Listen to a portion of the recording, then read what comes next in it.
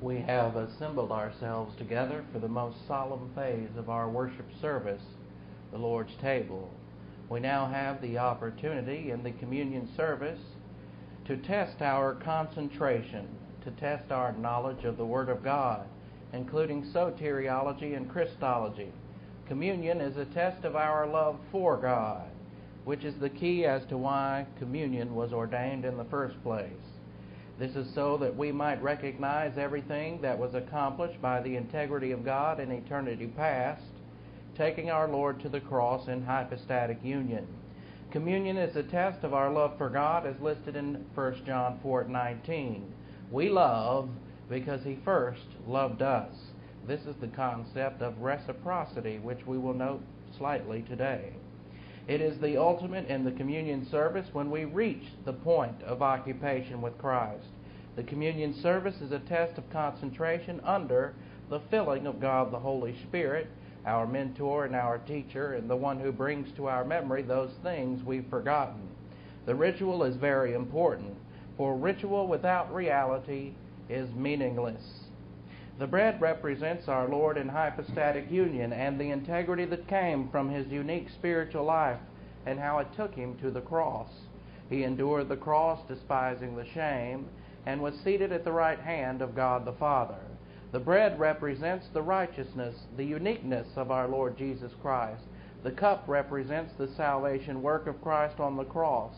Beyond that, it represents our post salvation spiritual life which describes the blessings that came to us as David announced, My cup runneth over.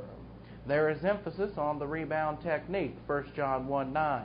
For there's a warning given to us in 1 Corinthians 11, in which if you do not rebound before partaking of the elements, you will be under liability for punishment in three categories warning punishment, intensive punishment, and eventually dying discipline. For whom, for whom the Lord loves, he punishes and skins alive with a whip every son whom he receives. God has mandated that all church age believers observe the communion. It is the only ritual still in existence in the post canon period of the church age outside of the marriage ceremony. 1 Corinthians 11:24 says, "Keep on doing this in memory of me." This is a way for us to remember our Lord a test of concentration always, and a test for something far greater, our love for God. In preparation, therefore, for taking this examination, the next few moments are devoted to silent prayer, giving each of you the option to name your sins to God if necessary. So, with your heads bowed and your eyes closed, let us pray.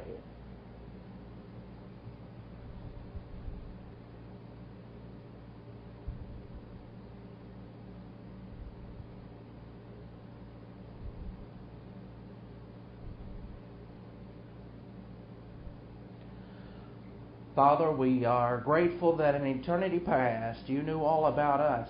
You knew about our successes. You knew about our failures. And you understood and knew long ago, before we ever existed, these things. Therefore, we have the opportunity to learn about you and the work of Christ on the cross and what it means to our eternal status. May God the Holy Spirit give us the concentration necessary to meditate upon these things as we are mandated to do as part of our worship service. We ask these things in the name of the King of Kings and Lord of Lords, even Jesus Christ our Savior. Amen.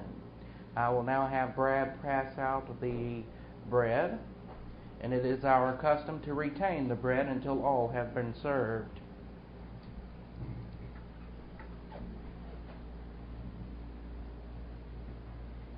Oh, soul, are you weary and troubled?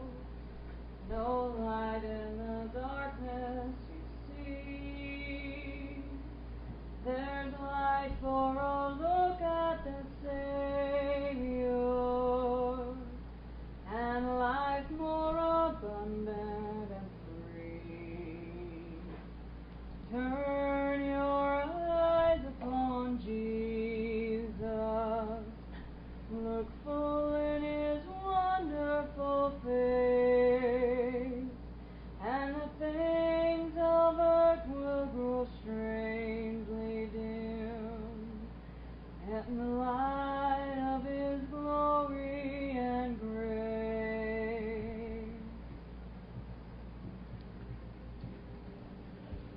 He was wounded for our transgressions, he was bruised for our iniquity. The chastisement of our, of our peace was upon him, and by his bruise we are all drawn together.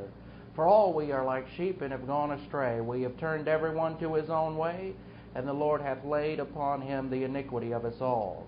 The Lord made a very important statement. He said, This represents my body, which was given as a substitute for you.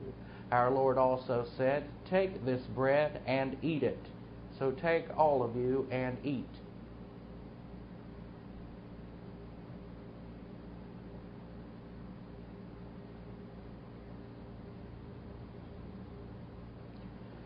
We are grateful, Heavenly Father, for remembering you through the cup. We pray that God the Holy Spirit will make this very real to us. We ask this in Christ's name. Amen. I'll have Brad pass out the cup, and it is our custom to retain the cup until all have been served.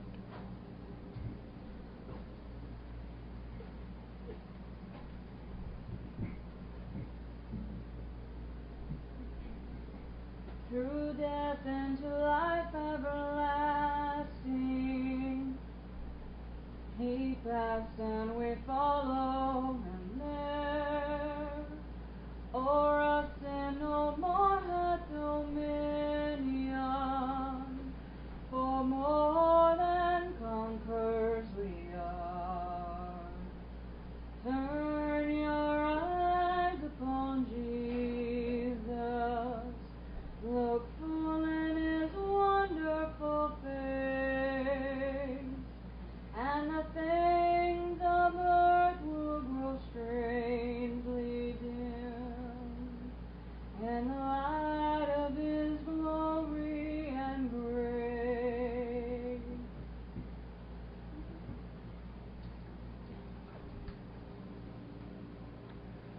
We have not been redeemed with corruptible things, such as silver and gold, from our empty manner of life, but by the blood of our Lord Jesus Christ. The Lord cook- took the cup, saying, This represents the new covenant of my blood. Drink ye, all of us.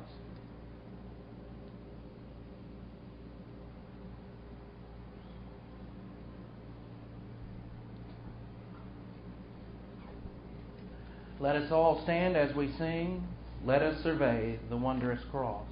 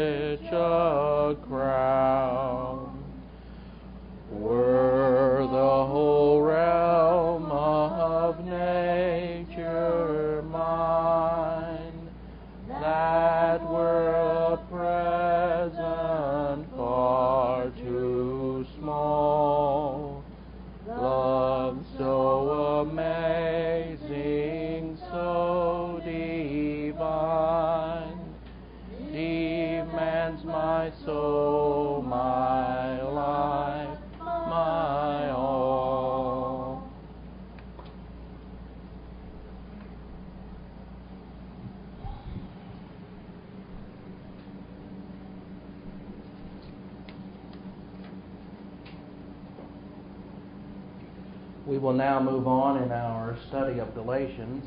Turn in your Bibles to Galatians chapter 3 verse 23. Galatians 3:23. On Friday we went over four points on the inferiority of the law. And we will review these four points very quickly. Four points on the inferiority of the law. We got these four points from Galatians 3:19, Galatians 3:20, 3:21 and 3:22. Now in Galatians 3:19, the Mo- it explains one of the reasons why the Mosaic law is inferior to the law of grace. It was added at the time of Moses and abrogated by the cross. The Mosaic law was added at the time of Moses, meaning Abraham did not have the law. The law came at the time of Moses. It has been abrogated by the cross. Once our Lord died as a substitute for us on the cross, so died the law with him. Why? The law was a curse. So that which is not permanent is inferior to anything that is permanent. The promise to Abraham is permanent. The promise to Abraham, Abraham believed in the Lord and it was credited to his account for righteousness. So the promise to Abraham, faith alone in Christ alone, that's a permanent law and exists today. So people in the Old Testament were saved in the same manner that people today are saved. So Galatians 3:19 explains reason one why the Mosaic law is inferior, and that is because it's temp- uh, temporary. It's transitory. It was abrogated by Jesus Christ on the cross. Reason number two. Reason number two is from Galatians 3:20 and that is the law has an inferior mediator, and we studied that.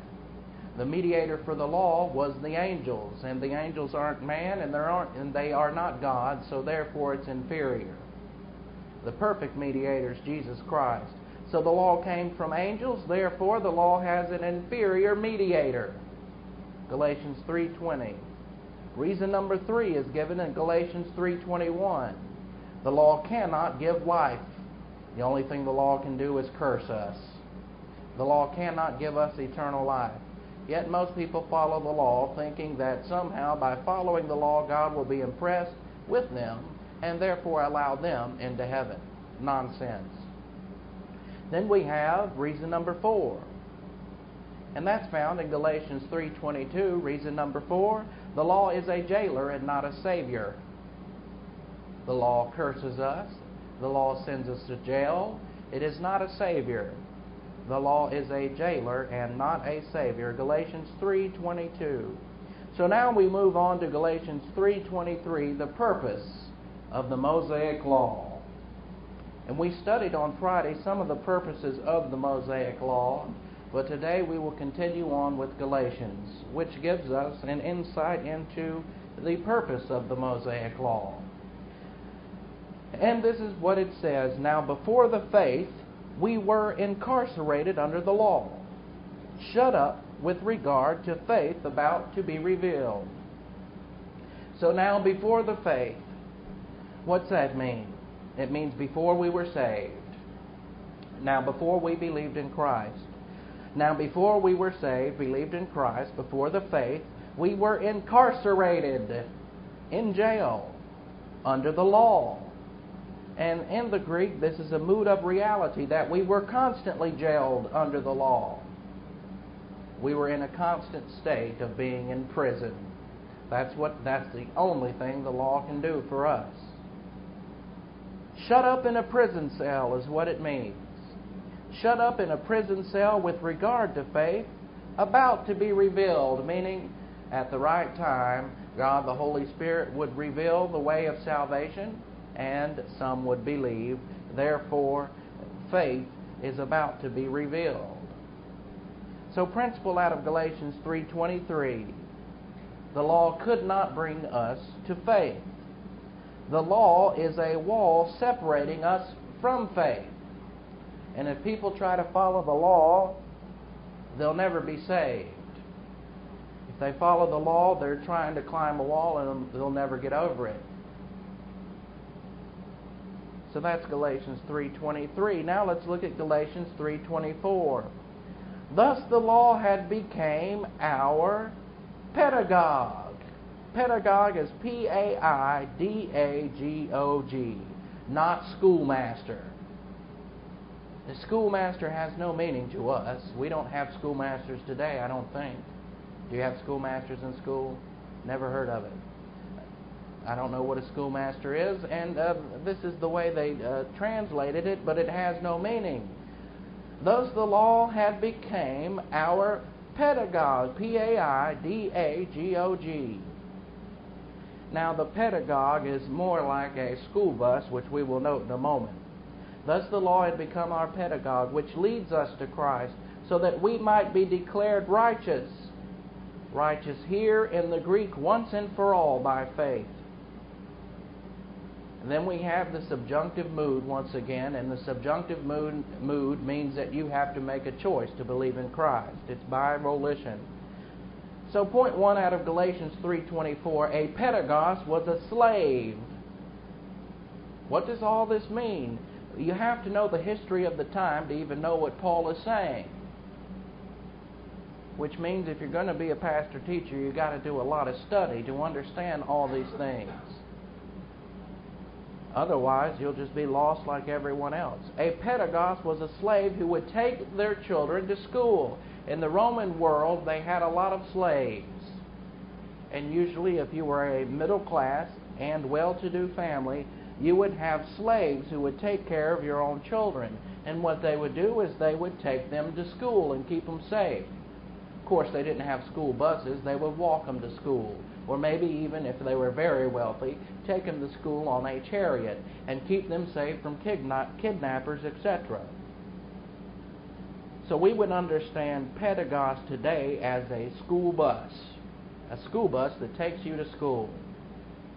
And for the most part, at, at least try to keep you safe from all the predators out there. So what this is referring to is the fact, by analogy, the law takes us to Christ like a school bus, just as the law took the rich young ruler to school. What was it that brought the rich young ruler to our Lord Jesus Christ? It was the school bus, it was the law. And he came to our Lord Jesus Christ and said, What must I do to be saved? And what happened was the law took him to Christ, but then when Christ gave him the correct doctrine, he stayed on the school bus and didn't get off and rode that school bus right to hell.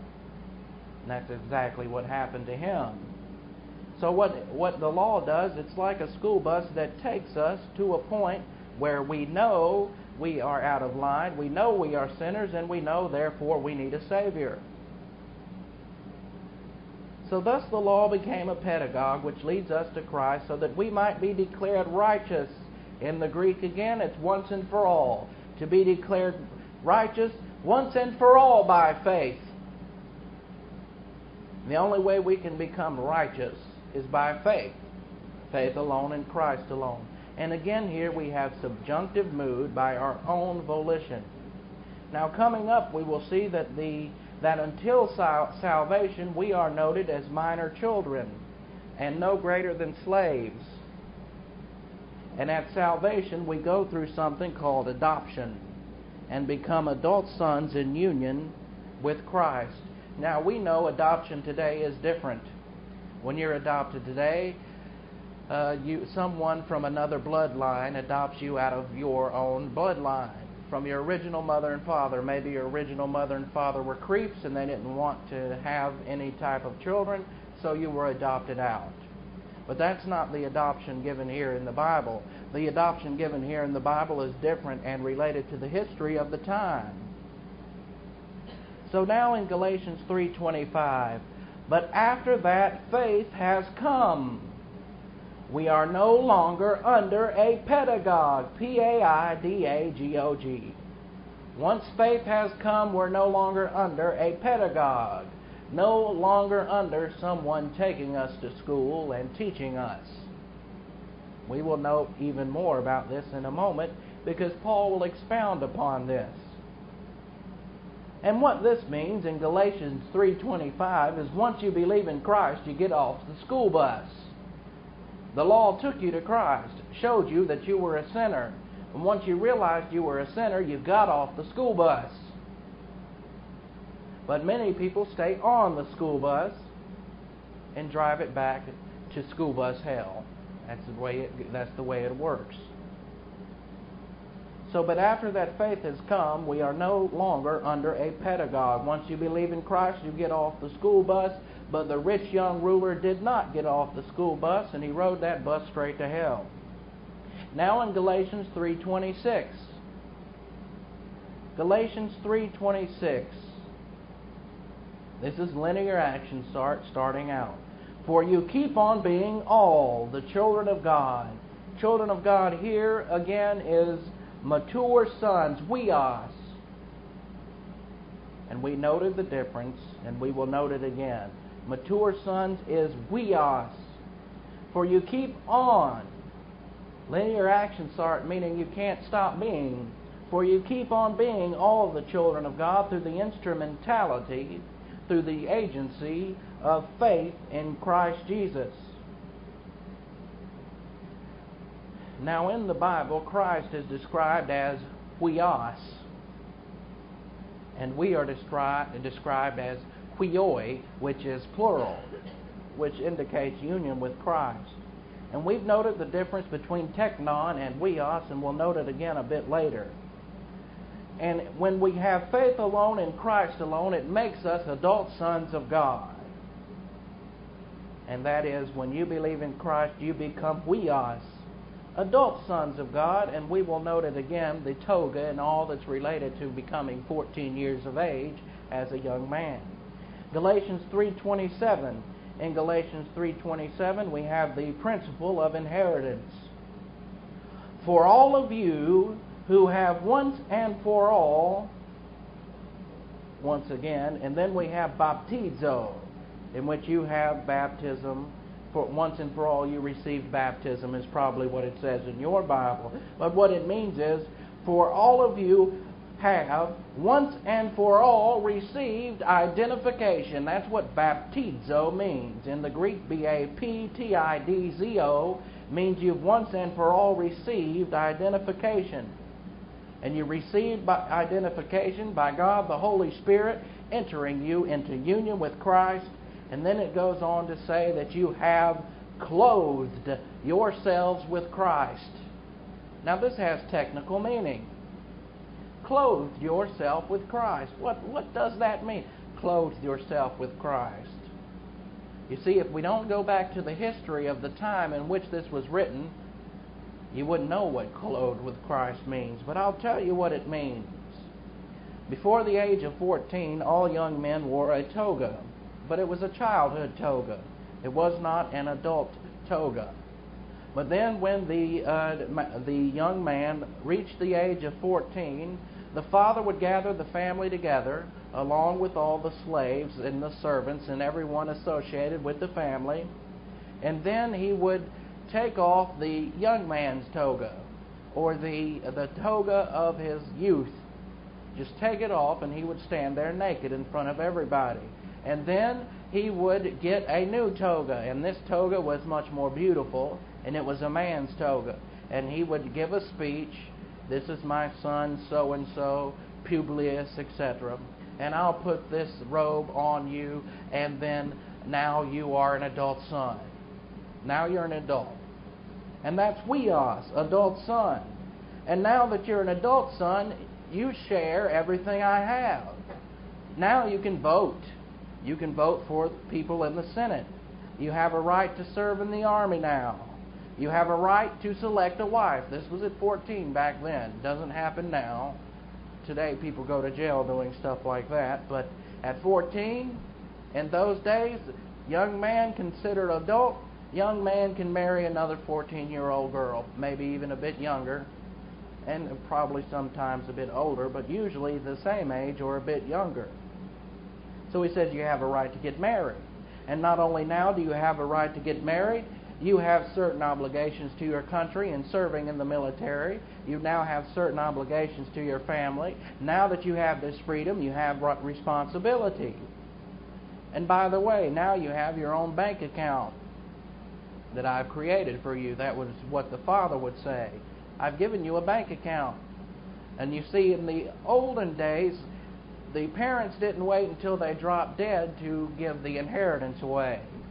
And when you think about it, if you are if you're worth let's say 20 million dollars, it would be better that you give that money to your children before you die than afterwards because they'll tax it at about 49%. Called a death tax, an evil tax in this country. Didn't exist back then. But back then they didn't even wait till death if they had the means.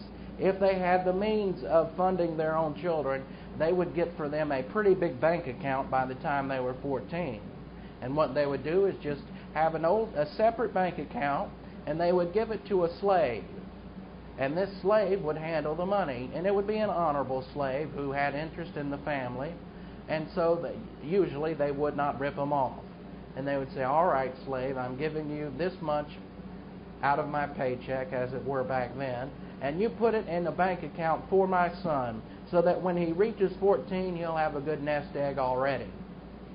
And then at the age of 14, suddenly the young man would look in his bank account and have a 100,000 drachma or something like that. Now, if he hadn't been trained correctly and if he hadn't been trained responsibly, first thing he would go do is go out and uh, buy a chariot with gold rims and just blow all his money right there.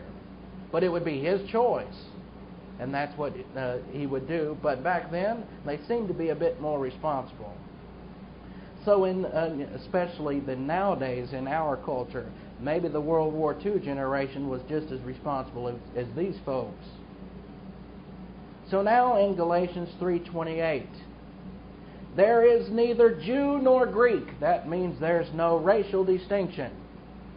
There is no racial distinction. There is neither slave nor free. That means there's no social distinction. That means there's neither rich nor poor. One of the most horrible things that can happen to a society is, on the one hand, racism.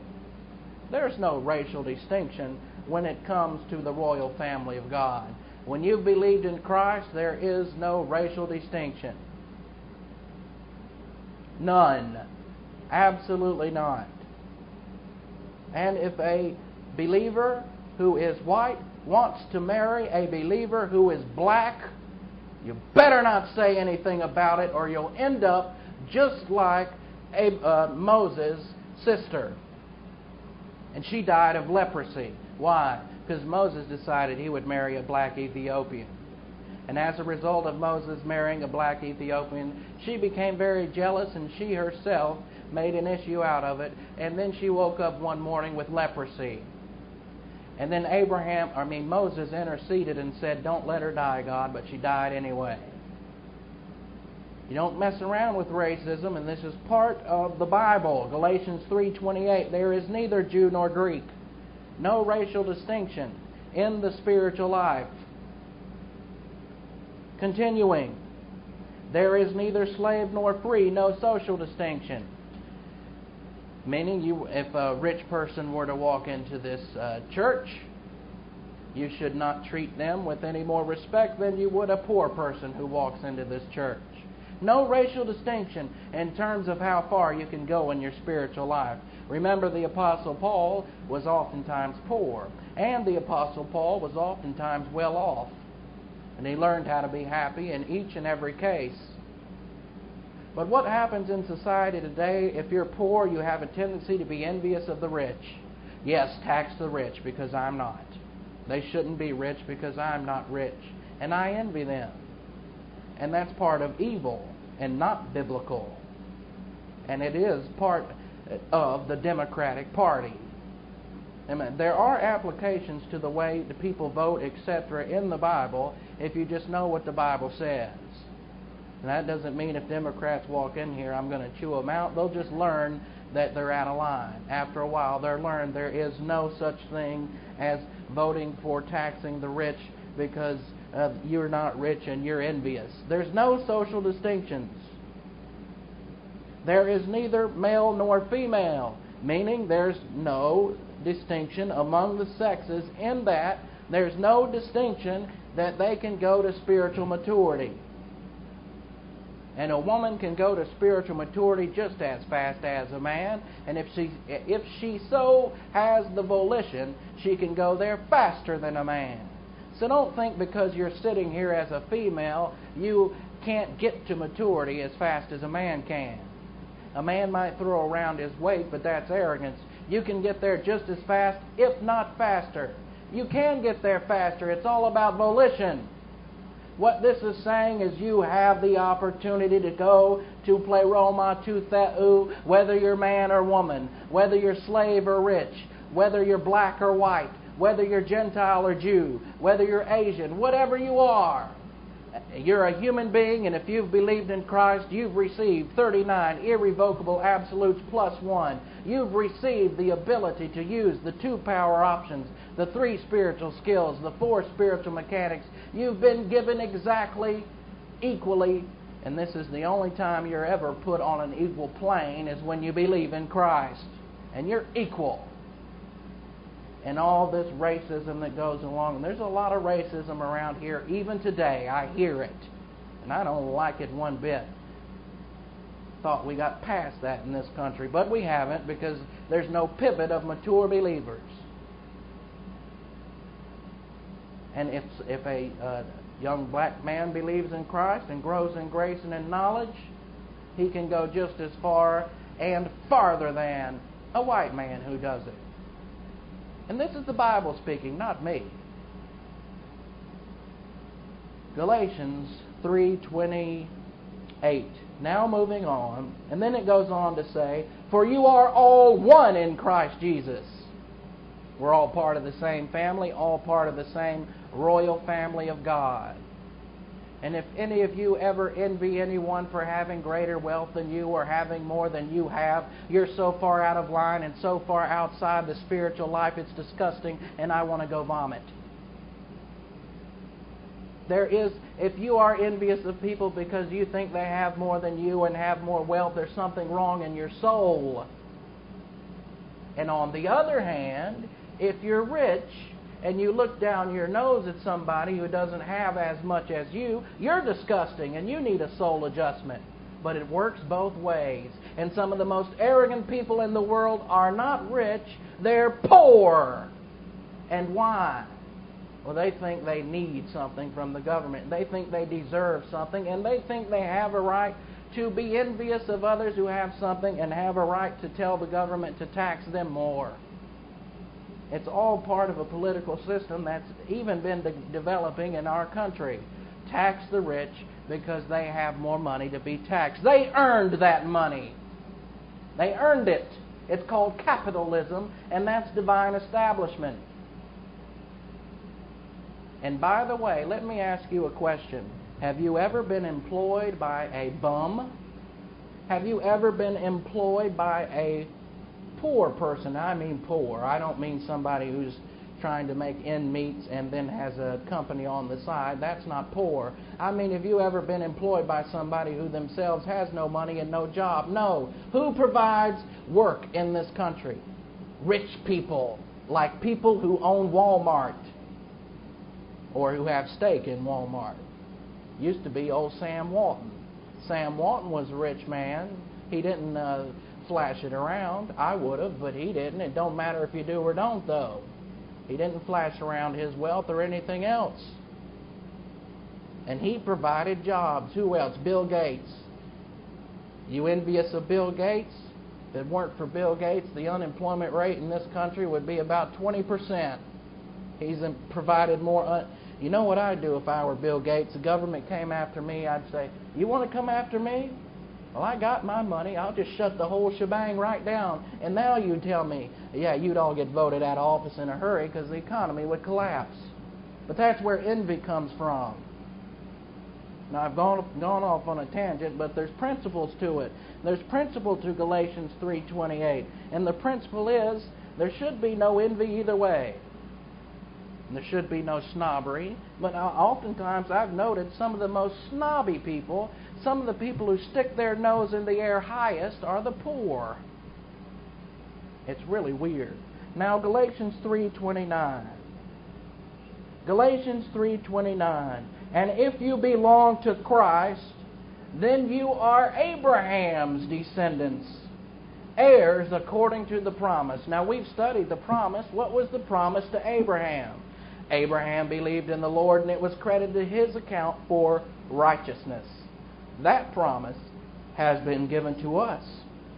And if you belong to Christ, then you are Abraham's descendants. All of us here are Abraham's descendants because we've all believed in Christ. And we are huios, heirs according to the promise. And how are we heirs?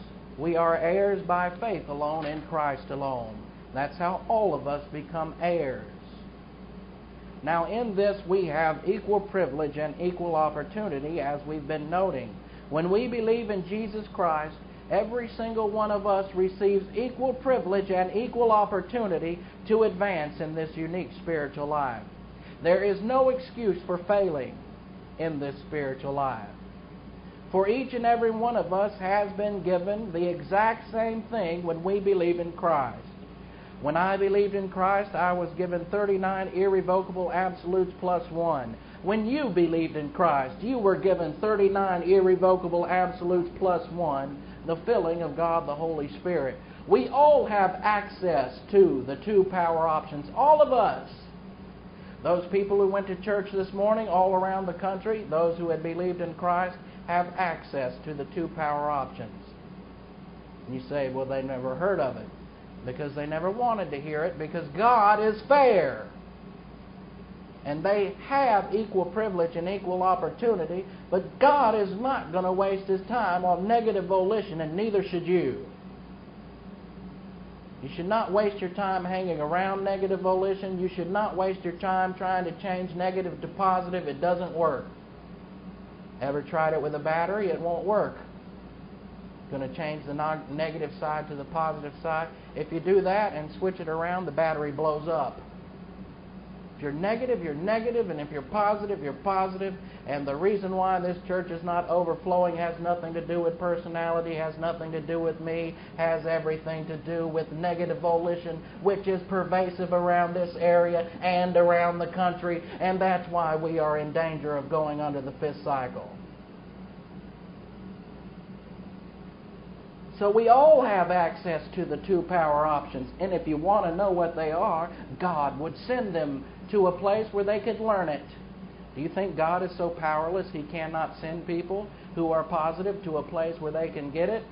You would be amazed at all the story of, uh, stories I've heard about people who got positive toward the Word and how God sent them the information. Well, they didn't even have to go. They would just uh, suddenly see something in the trash, pop it in their tape player, and say, Well, this is phenomenal. I got to get some of this. Or they'll look on the internet and pop, up comes something, and oh, I've got to get some of this. And it can happen anywhere.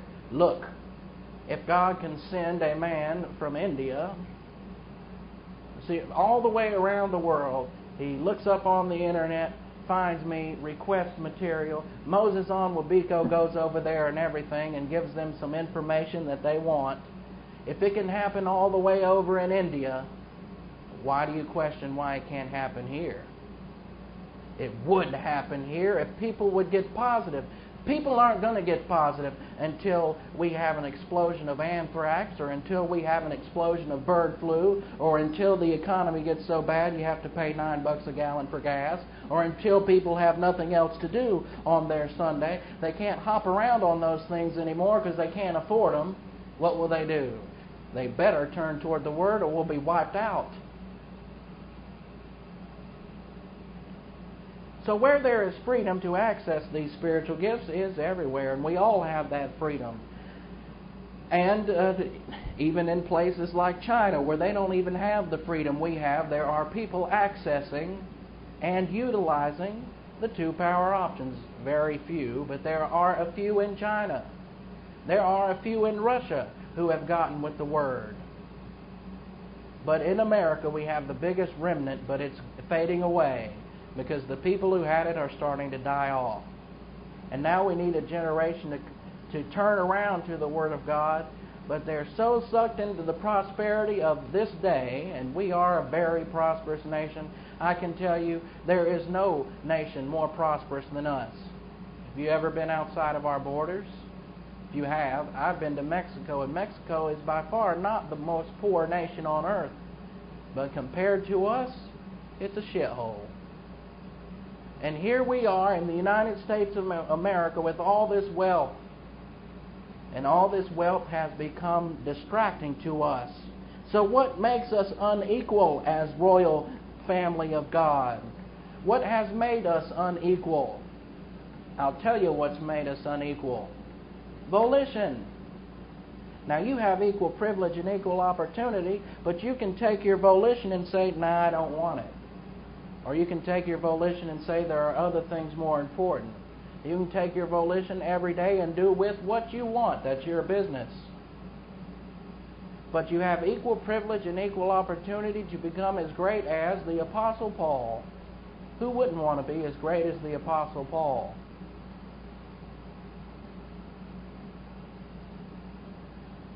So, what makes us unequal is our attitude and what we put as the importance in life. What is most important? Are we going to be lovers of pleasure or are we going to be lovers of God? Now, this doesn't mean that you have to become a hermit and not have fun. I love the Word of God with all my heart, mind, soul, all of it. But I still have fun. You can tell by my red face. I went swimming yesterday and had a blast. That Saturday is my day off. Today, everyone else swam, and I think I couldn't. I had to study. So what so um, so that I could give this to you. But the fact is, it's your attitude toward the Word of God that is makes the difference. And you can move to play pleroma tou theou. And what happens then? When you move to spiritual maturity, you become a blessing by association to everyone around you. And not only to your family, but to your city, then to your county, then to your state, then to your nation. And if you become a missionary internationally, and you have an impact in the angelic conflict, conflict, and when you uh, arrive in heaven, there'll be no shame associated with you. Now, right now, it's none of my business where you are spiritually or how interested you are in the Word. Never has been and never will be. But I'm going to tell you that when you get to the Bema and when our Lord Jesus Christ evaluates you, everyone is going to know where you stand. Everyone. I'm going to know. You're going to know where I stand. Hopefully, I'll make it. Who knows? But hopefully, I will. You're going to know where I stand. And everyone else is going to look at you. See, people get the idea. They're all about approbation lust. What do people think about me? Well, let me bring it to you in the terms of thinking and approbation lust. What are they going to think when you're all a bunch of losers? But see, it's not going to matter because most of them will be losers. And the upper echelon won't care about you anyway. But that's the way people think in the old sin nature. What do people think about me? Well, get away from that. What do people think about me? What does Jesus Christ think about you? That's the issue. Now, He loves you. You've believed in Christ. He loves you with a perfect love. But when you get to heaven, would you rather hear, Well done, my good and faithful servant, or be looked at with ashamedness? And to be ashamed because you did not execute the spiritual life. And you were given every opportunity, equal privilege and equal opportunity. The same opportunity the Apostle Paul was given, you've been given. What'd you do with it? It's what that's going to be the question. What'd you do with it? There's a country song about that. The guy's dying. He finds out he finds out he's dying, and then uh, part of the song says, What'd you do with it? Well, he went skydiving, but um, what'd you do with it other than that? What'd you do with this life? Some people live as if uh, tomorrow's guaranteed. I was watching the news the other day. This one congressman, what happened to him was he was in his office and he was opening the door and going out for lunch or something, and one of the Capitol Police was standing there and got shot right in front of his eyes. And that kind of shook him up. He's a believer. His name's Tom DeLay. He's just left Congress. And uh, he put on his congressional desk a sign that said, Today could be your day. He started thinking about his mortality. He said, Today I could be like that police officer and be dead. So he got motivated in his own way, and he said, Well, and he even said this on Fox News. He said, Well, the resurrection could occur today, or I could die today, and I got to make sure my life's in order. Now, the way he thought of it, who knows how he thought of it? I don't know a spiritual life. But that's the way we should think, too. We should live our lives in the light of eternity. Our lives are short. Even if we live to be 100 years old, that's a short life. And we could all die tomorrow. This bird bird flu thing's going crazy over in Asia. It may never come to fruition, but if it starts coming over here, some people predict it could wipe out a third of our own population. Are you going to be scared? Well, if you don't have the spiritual life, you'll be terrified. We'll all be wearing masks, cuddling up in our houses. Say, let's go to church. No, I might catch the flu. And when that's the place you should be learning the Word. And it's better to learn it now and to be prepared for these events when they occur. I'm not saying they're going to. I'm no prophet. Hopefully, we can go on in prosperity until we all drop dead. But it's very unlikely when you look at the historical trends. And the historical trend lately has been a massive movement away from doctrine. Massive. In the 1800s, they taught dispensationalism. Today, they teach Friend Day on June 25th. I didn't know it was that big church over there when I read that. Found it out later. And that big church over there having Friend Day as if they need more members. Friend Day now. Friend Day. Friend Day? What about Christ? What about doctrine? Let's make friends. Well, when everything gets bad, nobody really thinks about friends. In fact, friends start slitting each other's throats. When people start to starve, things start to change. And nobody's interested in entertainment anymore. They can't afford it. And entertainment, by the way, is the last thing that goes. But anyway, we move on. We will move on in the next hour with the doctrine of adoption. The doctrine of adoption, and that's because it's going to come out in chapter 4. We're going to deal with adoption. And then we're going to deal with uh, inheritance which has a lot to do with what I've been telling you right now. We have an eternal inheritance. And by the way, we have an inheritance we can receive right here, right now on the earth. A wonderful inheritance. And it doesn't mean that if you get to spiritual maturity, you're going to have all the wealth in the world. Far from it. If that were true, the Apostle Paul would have been the wealthiest man ever on earth. It has to do with spiritual wealth, not monetary things. Pastors today say, you want to go rah, rah, rah for God, you'll be blessed. And they always talk about money. Well, when money is, when you're the master of money, whether you have a little bit or a lot, you're happy. So if you want to be happy, you got to get serious with the Word. And if you want to turn this country around, you got to get serious with the Word. It's the only way. And it's not happening. It's just not happening, not in this area. Hopefully, it's happening somewhere so that we can have our nation continue because I love my country. I don't wish anything bad on this country or anyone. I hate when people suffer and I hate when people are in poverty, etc. I'd rather we all just go on in riches and prosperity because of a blessing by association with mature believers. But there's got to be mature believers for that to happen and maybe you'll be the one standing in the gap. But it, be, it depends upon your attitude. What is your attitude? Do you resent coming to church? Do you resent me? There's no reason to resent me. I'm just teaching what the Word says. If you resent me, you're resenting the word, just as they said with Samuel. So I'm not here to insult anybody. I'm just giving you the word. And if you resent the word, are you going to resent the word? Are you going to hate it? Would you rather be doing something else right now? If you would, God will take that something else away from you faster than you can blink your eye. You see, I've seen, I've noticed a lot of things. Some of you should think about this because I've seen a lot of the cars that come in here that are all bashed up, and young people, 20 years old and younger, being bashed up and dead just like that. And then they go to eternity. Wherever they go, we don't know. They're believers, they go to heaven. If not, they go to hell. But just like that, life's taken away. And it can be taken away just like that with you.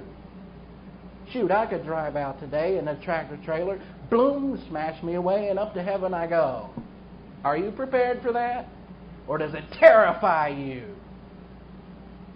If it terrifies you, you need to get you need to start learning the word. Oh, you'll go to heaven terrified or not, of course, eternal security. But most people would be terrified at that. And when you see it, your stomach gets queasy, etc. That's normal. Nothing wrong with that. But still, are you terrified by death?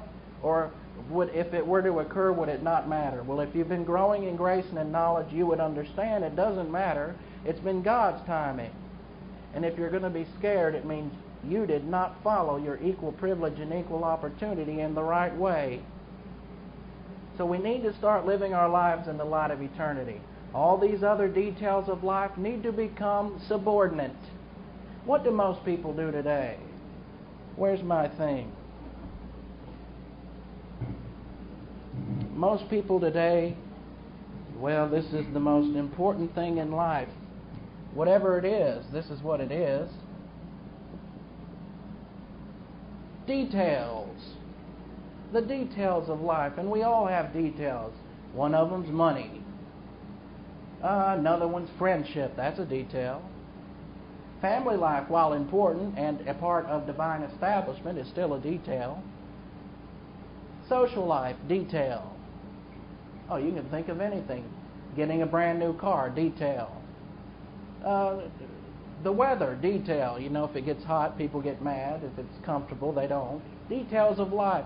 What, what, mu- what must happen is you must become a master of the details of life. And you can do that with doctrine. You can be the master of the details of life. And what makes you a master of the details of life? Your priorities are straight. If your priority says details are number one, what happens? You see, you could have money and make money and make all kind of money, and you say to yourself, this is a detail of life that will make me happy. And then you get it, and you do have pseudo happiness, minus H. You will have minus H from it for a while. But guess what? When you lose it, that means the details are a master of you. Because if you lose the money, you start crying. If you have the money, you start smiling. But if you are a master of the details of life, you smile all the time, and as it were, in sharing the happiness of God. And this is the only the only way you can get to this point and become a master of your own life is through doctrine. Otherwise, whatever circumstance in life comes along, it's going to distract you. And as a result, you see, the reason why our country's been blessed so much is because in the past we've had a large pivot and there were a lot of believers who could handle this prosperity. But every country in the world has failed prosperity testing. Every country ever. We are no exception. We're about due to start losing some of it. And the Roman Empire was the longest lasting in terms of its prosperity, and its most prosperous time lasted about 200 years. And we're heading at about that point. And then after that, downhill, downhill, downhill, and we will go downhill.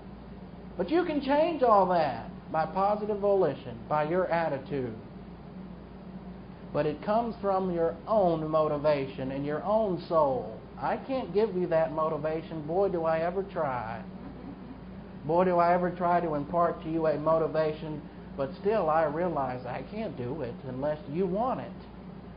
It's called volition. And if you want it, you can you can have it. You see, I might motivate you where you say, that was great, I'll come back tomorrow. But then tomorrow I might study something like uh, infralapsarianism, and oh, that wasn't encouraging, out the door you go. See, it, it takes an attitude where you just got to know doctrine. Whatever it is, whatever the subject, you got to know it. And some subjects that I teach, they're not really boring to me, but there are some I would rather teach than others, of course. But it's all the Word of God. So, with your head bowed and your eyes closed, Father, we thank you for the wonderful privilege and opportunity of studying these things. May God the Holy Spirit enlighten us concerning the things we've noted. In Christ's name we ask it.